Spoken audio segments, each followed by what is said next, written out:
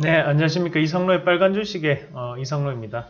자, 오늘은 일본의 한국에 대한 수출 규제, 그리고 국산화 관련주가 최근 들어 다시 한 번 더 반등이 나타나고 있는데, 어, 그에 따른 어, 종목군을 한번 구분을 해 보도록 하겠습니다.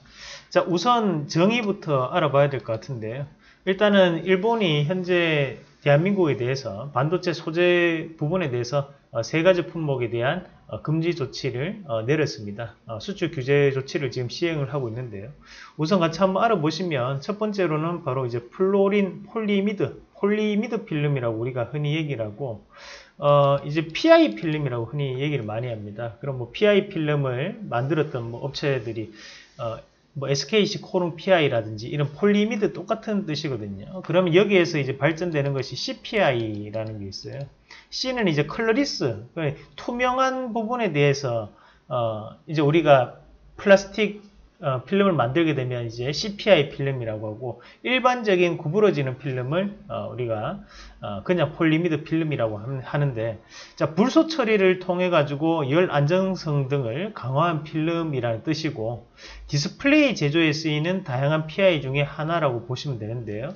이 PI 필름 같은 경우에는 foldable 디스플레이에 아, 필수적으로 들어가는 요소였습니다. 그래서 이런 PI 관련 기업들이 이 foldable 관련주를 엮이면서 종목군들에 대한 반등이 많이 나타났었는데 어, 일본이 전 세계 시장에 대해서 약 90% 정도를 어, 차지하고 있습니다. 그 정도로 의존도가 상당히 높은 것이 바로 이 PI 필름이라 보시면 되고 그럼 이런 PI 필름 자체가 그 디스플레이 공정뿐만이 아니라 우리가 이제 경량화 소재로 또 활용될 수 있거든요. 그리고 또한 3D 프린팅에 대한 소재로 활용될 수 있겠죠. 그럼 정부에서 지금 3D printing 관련해 가지고 다시 한 번 더 정부에 대한 투자를 하겠다라는 의지를 밝혔었는데 그에 따른 부분에서 이런 PI 필름 자체가 상당 부분 이슈가 될 수 있다는 부분도 기억을 함께 하실 필요가 있고 자 두 번째는 우리가 이제 resist, resist라고 흔히들 얘기하는데 어, 반도체 기판 제작에 쓰이는 감광액에 대한 제조를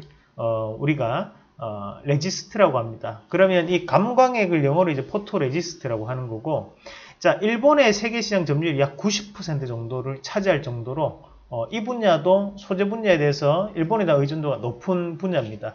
어, 반도체에 대한 기판의 photo mask를 제작할 때 이 resist 감광액을 쓰게 되고 어, 여기에 이제 이 웨이퍼죠. 웨이퍼가 나오는데요. 이 웨이퍼에서 중요한 공정 중에 한 개가 바로 우리 노광이라고 합니다.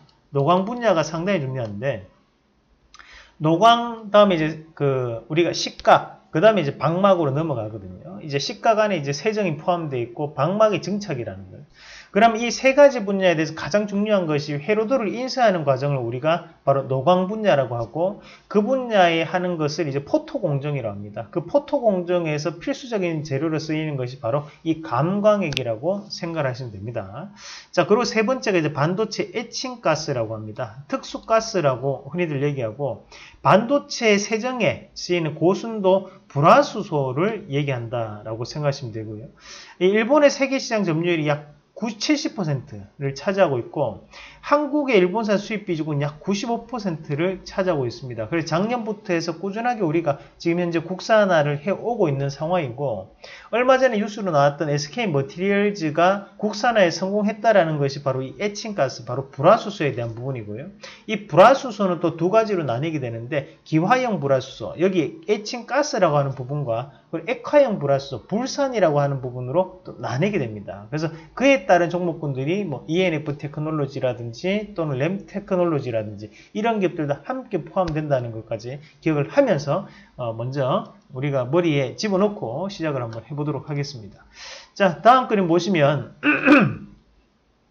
자, 현재 이 일본에 대한 수출 규제로 인해 국산화 관련주 sector군으로 묶여있는 종목군들인데 우선적으로 지금 세미시스코 같은 경우에는 최근에 국산화를 성공한 기업입니다. 구리 기반에 대한 투명 전극 소재에 대한 국산화를 성공한 기업이고 이 기업 같은 경우에는 우리가 이제 중소 강소기업으로 국산화 강소기업으로 55개를 지금까지 선정을 했는데 거기에 또 뽑혔던 기업이거든요. 좀 더 중요하게 보셔야겠고요. 두 번째는 이제 램 테크놀로지와 후성인데요. 램 테크놀로지 같은 경우에는 SK하이닉스에 불산을 공급했다라는 뉴스로 작년 달 9월 달에 큰 폭의 상승세를 기록하면서 신고가를 형성했던 종목입니다. 앞으로에 대한 여진도 꽤 남아 있다고 보고 우리가 눈여겨볼 필요가 있겠고 자 PI 첨단 소재가 이제 SKC 코오롱 PI 그 기업이 사명이 변경됐는데 앞서 봤던 polyimide 필름에 대한 국산화를 성공한 업체가 바로 PI 어, 첨단 소재다. 자 이녹스 첨단 소재는 마찬가지로 OLED나 반도체에 대한 국산화를 어, 지금 현재 어, 활용하고 있는 기업이고요. 켐트로스 같은 경우는 2차전지, 최근에 2차전지 관련주도 모습이 좋은데 거기에 대한 불소수지에 대한 국산화를 어, 성공한 기업입니다. 자, 그리고 S&S텍은 워낙 유명합니다. 지금 신고가를 꾸준하게 가고 있는 기업이고요. 이 blank mask가 바로 photo mask, 아까 전에 얘기했던 photo 공정에 쓰이는 photo mask에 대한 원재료가 바로 blank mask입니다. 자, D&T, 뭐 율촌화, 한화 솔루션 같은 기업도 있고요. 일치테크, 일치테크 같은 경우는 탄소 섬유에 대해서 우리가 현재 국산화를 어, 하고 있는 기업이고 삼육물산, 뭐 식품 포장지에 대한 고차단성 필름에 대한 고, 어, 국산을 성공한 기업이고 우리가 또 첨단 소재, 어, 이 탄소 섬유 이런 얘기가 나오면 반드시 또 기억을 해야 되는 기업 중에 한 개가 바로 효성 첨단 소재입니다. 우리가 이 효성이라는 기업이 예전에는 어, 지배 구조로 인해 가지고 문제가 많았었지만 사실 이 효성이라는 기업이 예전부터 이제 화학, 석화 기업 안에서도 이런 첨단 소재 분야에 대해서는 상당 부분 이슈가 되는 기업이었거든요. 그래서 이런 효성 첨단 소재도 좀 더 기억을 하시면서 보는 전략이 필요하다는 말씀도 드리겠고요.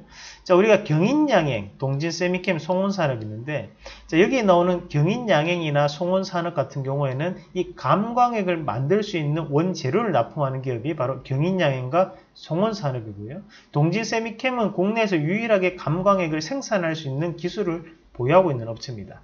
자, KPM테크나 솔브레인 홀딩스 같은 경우에도 지금 국산화로 엮여 있고 마찬가지로 얼마 전 어, 기하형 불화수소 어, 에칭가스에 대한 국산화에 성공했던 기업이 바로 SK머티리얼즈까지 우리가 국산화 관련주로 보실 수 있겠습니다.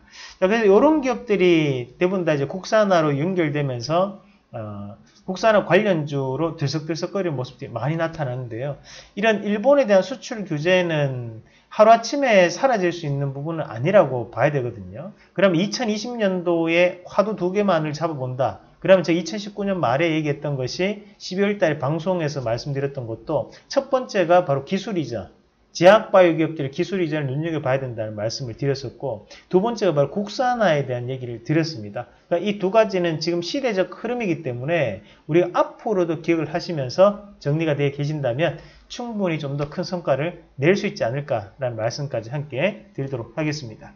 자, 저희가 뭐 제가 매일경제라든지 또는 머니투데이 방송 어, 그리고 서울경제TV 어, 그리고 한국경제TV까지 오면서 어, 최고의 수익률을 기록을 하면서 지금 이 한국경제TV까지 어, 출연을 하고 있는데요.